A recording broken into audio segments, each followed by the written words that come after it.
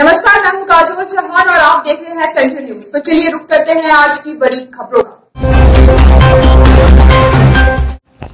आग के हवाले की गई उनाव रेप केस पीड़िता ने रात ग्यारह बज के चालीस मिनट पर तोड़ा दम, परिजनों को मिल रही है जान से मारे जाने की धमकी।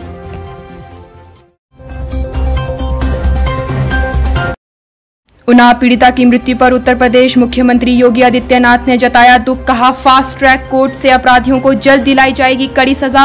वहीं मायावती ने पीड़िता की मौत पर दुख जताते हुए राज्य सरकार से पीड़ित परिवार को शीघ्र न्याय दिलाने की की मांग।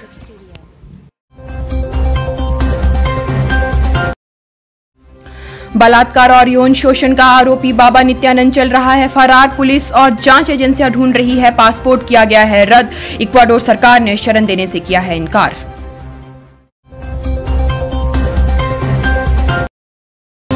इराक की राजधानी बगदाद में अज्ञात बंदूकधारियों ने प्रदर्शनकारियों पर की गोलीबारी। हमले में 16 की मौत, सैतालीस घायल।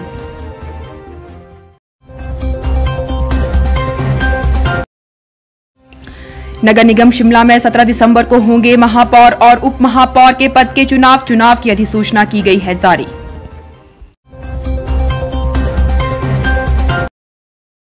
खाद्य वस्तुओं के लगातार बढ़ते दामों से डरी हिमाचल सरकार। अब बाज़ार पर खुद नियंत्रण करने की तैयारी में मुख्यमंत्री जयराम ठाकुर।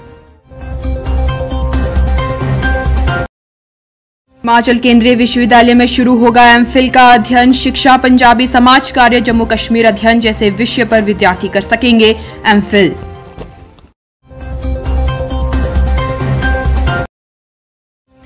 हिमाचल में सरकार की मंजूरी के बिना नहीं हो सकेंगी जल क्रीड़ाएँ। पर्यटन विभाग ने की नियमों की अधिसूचना जारी। फ़िलहाल इस बुलेटिन में इतना ही। देश विदेश की तमाम खबरों से रूबरू होने के लिए देखते रहिए सेंट्रल न्यूज़।